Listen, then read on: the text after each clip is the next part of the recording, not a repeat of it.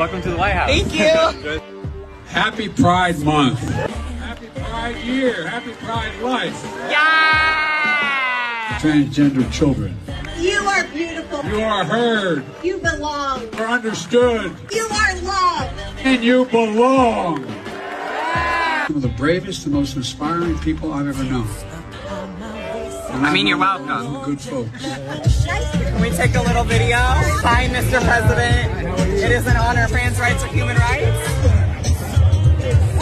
Oh, it's a video. Oh, it's a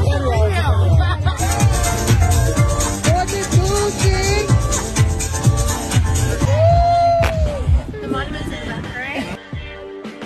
Gay news. Are we topless at the White House?